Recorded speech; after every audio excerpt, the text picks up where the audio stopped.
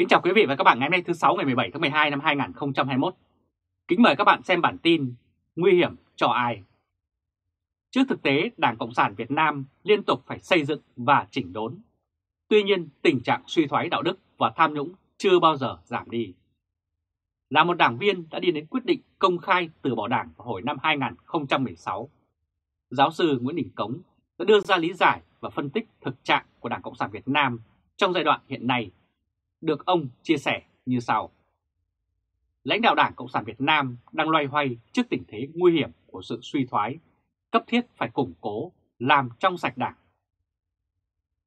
Đây là hình ảnh ông Tổng Bí thư Nguyễn Phú Trọng mới đây đã phát biểu rằng miếng ăn là miếng tồi tàn và tiếp tục hô hào đạo đức cách mạng sau sự kiện ông Bộ trưởng Bộ Công an Tô Lâm ăn bò rát vàng hàng nghìn đô ở thủ đô London được báo chí quốc tế đăng tải liên tục. Họ cho rằng chỉnh đốn đảng là công việc xây dựng tổ chức, xây dựng con người vân vân. Vì vậy, thường rất khó, rất phức tạp. Khó nhưng không thể không làm vì nó liên quan đến sinh mệnh của đảng và sự tồn vong của chế độ. Nhiều vấn đề liên quan đến tham nhũng, lợi ích nhóm, có nguyên nhân từ đạo đức, vân vân. Nguy hiểm nhất là sự phai nhạt lý tưởng cách mạng, không kiên định con đường xã hội chủ nghĩa, mơ hồ dao động, thiếu niềm tin, nói trái, làm trái với quan điểm, đường lối của Đảng. Từ sự suy thoái về đạo đức, lối sống dẫn đến sự tự diễn biến, tự chuyển hóa chỉ là một bước ngắn, thậm chí rất ngắn, nguy hiểm, khôn lường. Đó là những câu vừa được trích ở một số từ ghép lại của phát biểu ông Nguyễn Phú Trọng. Trong đoạn đó có một số nhận định thiếu chính xác, thậm chí bị sai cơ bản. Thứ nhất, họ chỉ thấy xây dựng đảng là tổ chức và con người. Điều đó đúng, nhưng thiếu mất phần cơ bản. Phần quan trọng nhất đó là học thuyết. Họ vừa kém trí tuệ, vừa kiêu ngạo và rất ích kỷ nên cố đặt cái thây ma đã mục giữa là học thuyết Mark Lenin lên bàn thờ. Họ cũng không thèm nghe những người chính trực mách bảo, can giám mà can tâm bị bọn Trung Quốc lừa bịp với chiêu bài cùng ý thức hệ. Chính vì thờ Mark Lenin và họ ôm lấy Trung Quốc nên không thể nào xây dựng được một đảng trong sạch và vững mạnh. Lý thuyết xây dựng đảng kiểu mới của giai cấp công nhân do Lenin vạch ra từ đầu thế kỷ 20 đã thành rác rưởi hồi hám. Chỉ là các vị quá quen rồi nên vẫn cứ ngửi thấy mùi thơm. Xin nghiên cứu thật kỹ. Đảng Cộng sản Trung Quốc chỉ mang tên Cộng sản nhưng thực chất không còn theo những điều cơ bản của Mark Lenin nữa. Thứ hai, họ lo đến sinh mệnh của đảng và tồn vong của chế độ mà không quan tâm đến đất nước, đến dân tộc. Đây là hình ảnh hôm 30 tháng 9, 11 tướng lĩnh cảnh sát biển đã bị kỷ luật vì suy thoái đạo đức, nhận hối lộ, tiếp tay cho buôn lậu, vân vân. Thực chất, Đảng là tổ chức do họ lập ra để tạo lực lượng. Đảng hiện có gần 5 triệu người, trong đó khoảng 4 triệu rưỡi là đảng viên thường, chỉ có dưới 500.000 người là cán bộ lãnh đạo các cấp. Giả sử sinh mệnh của Đảng có chuyện gì nguy hiểm thì chủ yếu ảnh hưởng đến quyền lợi của tầng lớp lãnh đạo, chứ đối với tuyệt đại đa số đảng viên thường chẳng có gì phải bận tâm. Họ đưa ra sinh mệnh đã để hù dọa số đông đảng viên vốn ngây thơ tin vào họ. Còn đối với chế độ thì sao? Chế độ do lãnh đạo lập ra, sự tồn vong của chế độ cũng chủ yếu là quan trọng đối với cán bộ đảng và những người ăn theo họ, chứ đối với đại đa số đảng viên và nhân dân thì chế độ Cộng Hòa, Dân Chủ hay Cộng Hòa hay xã hội chủ nghĩa mà được yên ổn làm ăn, được tự do tư tưởng, không bị áp bức, vân vân đều được chấp nhận. Đa số người dân không cần cái tên chế độ xã hội chủ nghĩa, mà thực chất là sự độc tài toàn trị của Đảng Cộng sản, bỏ nó đi càng tốt. Thứ ba, cho rằng tham nhũng, lợi ích nhóm có nguyên nhân từ đạo đức, không sai, đó là nguyên nhân gần, trực tiếp. Nhưng nguyên nhân cơ bản, nguyên nhân gốc ở đâu? Đây chính là câu hỏi đặt ra. Tại sao lại có kẻ chọn kém đạo đức làm cán bộ lãnh đạo hay là do cơ chế đã làm lãnh đạo thì tự sinh ra kém đạo đức đây? Không trả lời rõ vấn đề này thì vẫn còn loay hoay mãi mà vẫn không tìm được lối thoát. Phải chỉ ra rõ ràng rằng vì đường lối phản khoa học, phản tiến bộ trong việc dân chủ giả hiệu và sự độc quyền mới sinh ra bọn cán bộ thiếu đạo đức. Đây là hình ảnh ông cựu Bộ trưởng Trương Minh Tuấn từng là chủ biên cuốn sách với tên gọi là Phòng chống tự diễn biến, tự chuyển hóa về tư tưởng trong cán bộ, đảng viên. Tuy nhiên sau đó, ông đã nhận 14 năm tù về hai tội danh tham nhũng trong vụ AVG. Thứ tư, nguy hiểm nhất, đó là nguy hiểm cho ai? Cho Đảng Cộng sản hay cho dân tộc? Liệu lãnh đạo có dám đặt câu hỏi rằng tại sao cán bộ và đảng viên lại phai nhạt lý tưởng? Tại sao không kiên định con đường?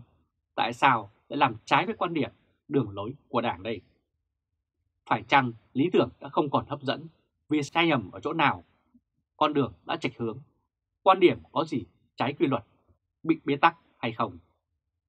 Nếu vậy thì những việc đó chẳng nguy hiểm mà chỉ có lợi cho đảng và dân tộc. Có nguy hiểm chăng là cho một số người vì kém trí tuệ và bảo thủ mà kiên định những điều sai trái. Những người không theo kịp thời đại, tham quyền cố vị mà đảng cầm quyền chân chính cần loại bỏ. Thứ năm là sự tự suy thoái về đạo đức, lối sống dẫn đến tự diễn biến, tự chuyển hóa chỉ là một bước rất ngắn. Cho rằng tự suy thoái đạo đức dẫn đến tự diễn biến là một sai lầm không những do ngu muội mà còn đều cáng. Không có sự dẫn tới như vậy dù là bước ngắn hay quá trình lâu dài. Tự diễn biến bậc cao là những người có thời gian dài ở trong đảng, hiểu biết khá rõ về độc hại của chủ nghĩa Mark Lenin và những điều sai trái không thể sửa chữa của đảng. Họ tuyên bố công khai việc từ bỏ đảng, họ phản biện Mark Lenin và đường lối của đảng Cộng sản. Họ là những người được xếp vào loại giàu sang không thể quyến rũ, nghèo hèn không thể chuyển lay, bạo lực không thể khuất phục. Đây là hình ảnh ông Chủ tịch Hội Nhà báo độc lập Phạm Trí Dũng là một người tự chuyển hóa từ hàng ngũ cán bộ, lãnh đạo của Đảng Cộng sản để đấu tranh cho quyền tự do ngôn luận và dân chủ cho Việt Nam. Vu cáo những người như thế là suy thoái đạo đức để xếp họ cùng với bọn tham nhũng. Cửa quyền làm giàu bất chính là hành động của bọn người vô liêm sỉ. Làm cán bộ lãnh đạo, đặc biệt là lãnh đạo cấp cao, xin hãy tu tâm dưỡng tính để có được trí thông tuệ, tâm trong sáng, lòng từ bi, bao dung, xóa bỏ được bất minh, uốn lưỡi trước khi nói, suy nghĩ kỹ trước khi viết, biết hổ thẹn và sửa chữa khi phạm sai lầm, biết nghe những lời phản biện, biết rút lui kịp thời. Như thế mới mong để lại chút tiếng thơm cho lịch sử. Giáo sư Nguyễn Đình Cống đã nêu ra nhận định của mình như vậy.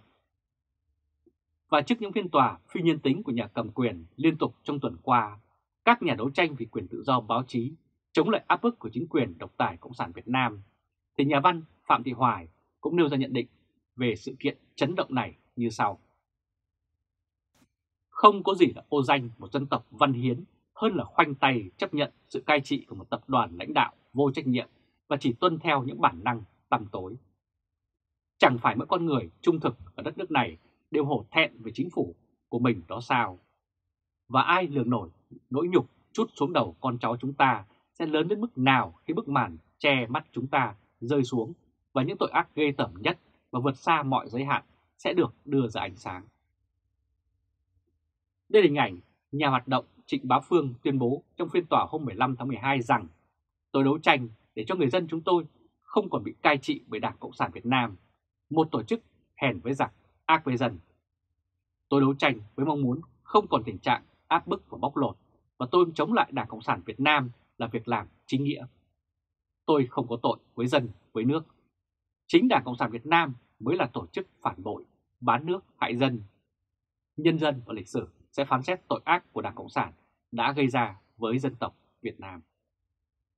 Nếu dân tộc này đã tha hóa và phân rã trong bản tính sâu thẳm nhất của mình, đến mức một ngón tay cũng không buồn đụng đến đặng đậy, từ bỏ ý chí về tự do, điều cao quý nhất mà con người sở hữu và nhờ đó mà đứng trên mọi loài vật. Nếu dân tộc này đã mất hết mọi phẩm giá cá nhân mà chỉ còn một đám đông vô hồn và hèn nhát, vâng nếu vậy thì dân tộc ấy xứng đáng diệt vong. Đó là lời của cô sinh viên 21 tuổi Sophia Scholl trong một tờ chuyển đơn kêu gọi người Đức chống lại chính quyền quốc xã. Cô bị bắt, bị toán, nhân dân München kết án tử hình hành quyết bằng máy chém. Sau bản án 9 năm cho Phạm Đoan Trang, những lời hão huyền và thậm chí du ngủ lại vang lên rằng ngày tan của chính quyền bạo chúa đã đến rất gần vì nó đã mất hết tính chính danh, rằng chính quyền ấy đang đứng trước vành móng ngựa của lịch sử, rằng chế độ ấy không kịp bóc lịch trước khi chàng bán án tù. Trái với mọi tiên đoán, xu hướng bạo chúa trên toàn thế giới không suy giảm. Ngược lại, Hà Nội điểm nhiên ra những bản án như vậy.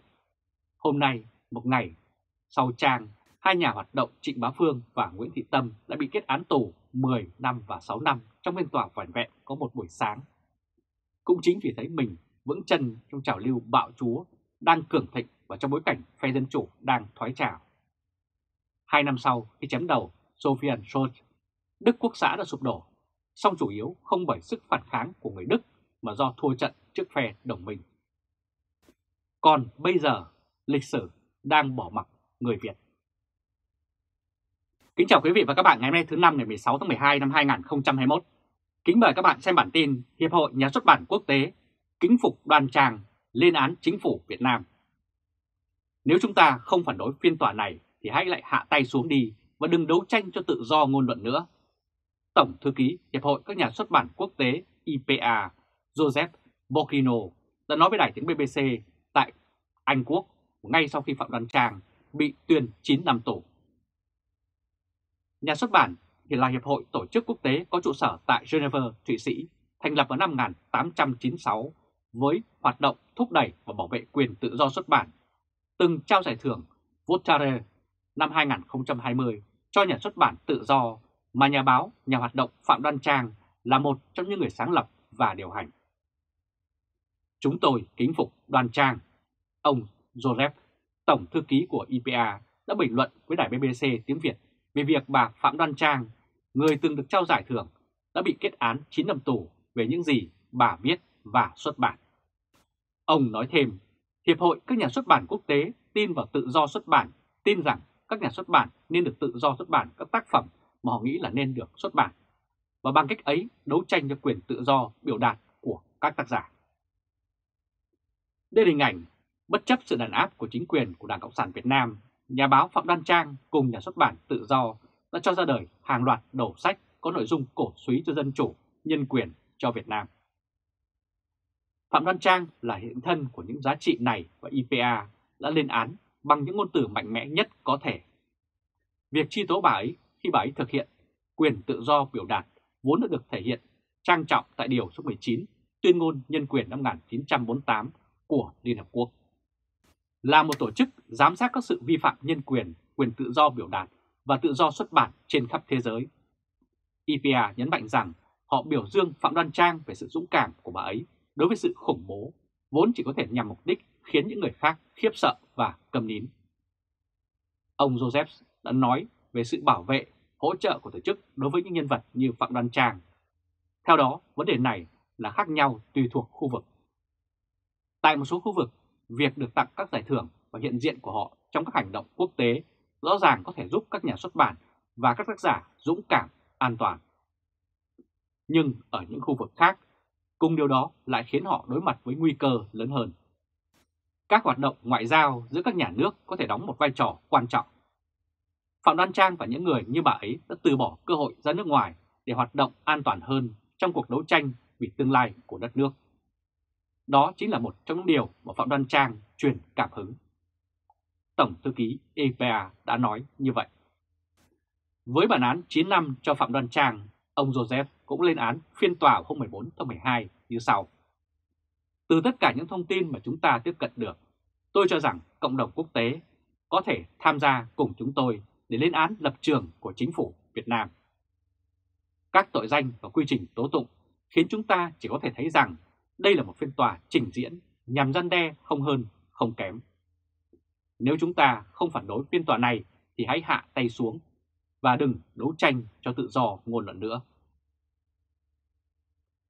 Đây là hình ảnh ông Joseph, Tổng Thư ký các Hiệp hội Nhà xuất bản quốc tế, viết tắt là IPA. Đồng thời, IPA cũng nhắc lại vai trò của Phạm Đoan Trang trong việc mở đường cho việc xuất bản độc lập tại Việt Nam. Ông nói, ngay trước khi bị bắt, Phạm Đoan Trang đã gửi cho chúng tôi một video giải thích về xuất bản độc lập tại Việt Nam. Nỗ lực mà những người làm xuất bản độc lập tại Việt Nam phải thực hiện là vô cùng to lớn. Nguy cơ từ những bản án kiểu này là có thể làm nhụt chí mọi người hơn nữa. Chỉ những người dũng cảm nhất trong số chúng ta mới đánh đổi 9 năm trong tù để xuất bản sách. Chúng tôi kính phục Phạm Đoan Trang và hứa sẽ tiếp tục cổ vũ cho bà ấy. Ông Joseph đã nhấn mạnh như vậy. tiếng nói của các tổ chức quốc tế khác cũng được phát lên toàn thế giới. Bên cạnh IPA, nhiều chính phủ, tổ chức quốc tế đã lên tiếng sau khi Phạm Đoan Trang bị tòa kết án 9 năm tù, cao hơn mức 7-8 năm mà Viện Kiểm sát đề nghị. Cụ thể, Mỹ đưa ra tuyên bố lên án việc kết án 9 năm tù đối với tác giả Việt Nam Phạm Đoan Trang rằng người không làm gì khác hơn là bày tỏ chính kiến của mình một cách ôn hòa. Chúng tôi cũng ghi nhận ý kiến gần đây của nhóm công tác về giam giữ tùy tiện của Liên Hợp Quốc cho thấy việc giam giữ Trang là tùy tiện và trái với các cam kết và nghĩa vụ quốc tế về quyền con người của Việt Nam. Hoa Kỳ kêu gọi chính phủ Việt Nam trả lại tự do cho Trang, người đã được quốc tế công nhận công lao thúc đẩy nhân quyền và việc cai trị tốt ở Việt Nam, đồng thời cho phép mọi cá nhân ở Việt Nam tự do bày tỏ quan điểm của mình mà không sợ bị trả thù. Chúng tôi cũng kêu gọi chính phủ đảm bảo luật pháp và các hành động của mình phù hợp với các quy định về quyền con người trong hiến pháp Việt Nam cũng như các nghĩa vụ và cam kết quốc tế của Việt Nam. Đây là hình ảnh bà Phạm Đoan Trang trong phiên tòa vào ngày 14 tháng 12 tại Hà Nội. Còn Canada thì đưa ra thông cáo như sau. Canada vô cùng quan ngại việc tuyên án đối với bà Phạm Đoan Trang. Chúng tôi cũng quan ngại về những nỗ lực không ngừng của các cơ quan chức năng Việt Nam nhằm hạn chế quyền tự do truyền thông, một nhân tố thiết yếu về việc bảo vệ nhân quyền và có quyền tự do cơ bản. Chúng tôi cũng kêu gọi các nhà chức trách Việt Nam cho phép các nhà báo hành nghề mà không sợ bị bắt giữ, sách nhiễu hoặc bị trả thù. Đồng thời chấm dứt kiểm duyệt và kiểm soát diện rộng đối với các phương tiện, truyền thông và nới lỏng rộng hơn tự do ngôn luận. Chúng tôi cũng khuyến khích tất cả các quốc gia tuân thủ các nghĩa vụ nhân quyền của họ theo luật pháp quốc tế, bao gồm quyền tự do quan điểm và biểu đạt. Trả lời về việc nhà báo và nhà bảo vệ nhân quyền Phạm Đoan Trang bị kết án 9 năm tù, Phó Giám đốc khu vực của Tổ chức Ân xá Quốc tế Minh Yuhan cho biết rằng Thật phẫn nộ khi các nhà chức trách Việt Nam đang kết tội Phạm Đoàn Trang, một nhà báo quả cảm và nhà bảo vệ nhân quyền. Người đã nhiều năm đấu tranh cho một Việt Nam công bằng, hòa nhập và tôn trọng các quyền. Công việc của bà ấy nên được tôn vinh và bảo vệ chứ không phải bị trừng phạt và hình sự hóa. Đối xử với Phạm Đoàn Trang gồm các hành vi quấy rối, giám sát, đe dọa, tra tấn và truy tố là biểu tượng của một cách tàn nhẫn cho sự đàn áp của nhà cầm quyền Việt Nam đối với các hoạt động nhân quyền ôn hòa trên khắp thế giới. Và Đoan Trang từng nói gì về sự đàn áp này? Ngay sau khi nhận được giải thưởng Voltaire vào tháng 6 năm 2020, Phạm Đoan Trang đã có cuộc trò chuyện với đài tiếng nói BBC tiếng Việt. Khi chia sẻ về sự chấn áp của chính quyền Việt Nam, Đoan Trang nhấn mạnh rằng trong mắt công an, chúng tôi không được coi là con người nữa rồi. Đây là hình ảnh, bên phải là bà Phạm Đan Trang công bố bản báo cáo đồng tâm. Hình bên trái là bà Đan Trang đang đi nạn sau khi bị công an Cộng sản đánh gãy chân, đứt dây chẳng và phải phẫu thuật lại vào năm 2016. Đến nay, vết thương vẫn chưa lành. Đối với nhà xuất bản tự do, giải thưởng này là sự tưởng thưởng cho nỗ lực và lòng can đảm của mọi người khi thành lập. Trong suốt thời gian đó, các thành viên chưa có một phút nào bình yên, phải sống triển miên trong tình trạng căng thẳng. Tất cả mọi người đều phải chịu rất nhiều, đoàn trang cho hay. Cũng theo bà, có nhiều cách đàn áp mà chính quyền thực hiện đối với các thành viên của nhà xuất bản tự do.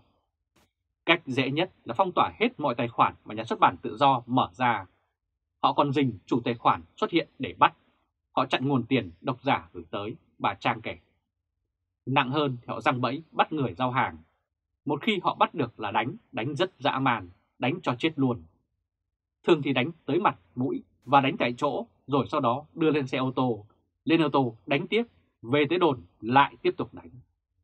Đó là hành vi bắt cóc, tức là đầu tiên cướp điện thoại, khống chế rồi đánh cho tối tăm mặt mũi trước khi đưa lên ô tô. Có mấy trường hợp gần đây, anh em bị bắt, bị đánh rồi may mắn thoát được, chứ không phải là công an thả. Bà kể và giải thích thêm.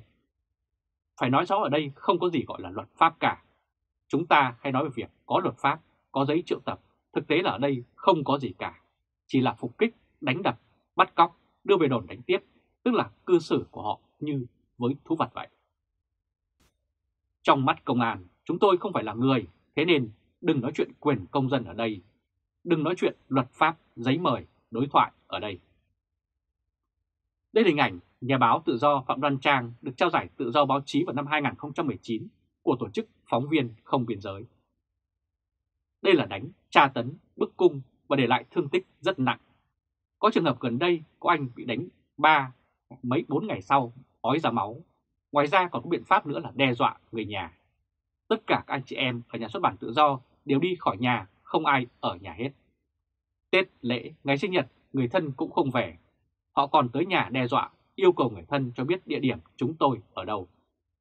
Nói chung, họ dùng mọi biện pháp tàn bạo để chấn áp, bà Trang tố cáo. Từ thực tế hoạt động của mình, nhà báo Phạm Đoan Trang cũng rút ra bài học cho bản thân và các nhà hoạt động dân chủ nói chung như sau. Với các nhà dân chủ, những nhà hoạt động xã hội dân sự, nếu họ lấy cái chung, cái mục đích đấu tranh vì dân chủ, vì xã hội làm đầu, thì họ mới được người dân ủng hộ. Lúc đó mới hy vọng vào cuộc chiến thắng của cuộc đấu tranh, còn nếu vẫn giữ cái tôi hơn cả, vẫn đặt cái sự an toàn, tiện lợi lên trên và cứ ngại hy sinh, ngại gian khổ như vậy, không bao giờ có thể đi tới đích cả. Về câu chuyện của nhà xuất bản tự do, bà Trang có nhắc lại rằng nhu cầu đọc hiện rất cao nhưng mình không bao giờ lo thiếu bản thảo, lo thiếu người viết, thiếu người đọc. Tôi chỉ lo là có sống được để làm việc đó hay không, bởi vì với cách đàn áp này thì chắc họ muốn giết hết những người như chúng tôi. Bà nói.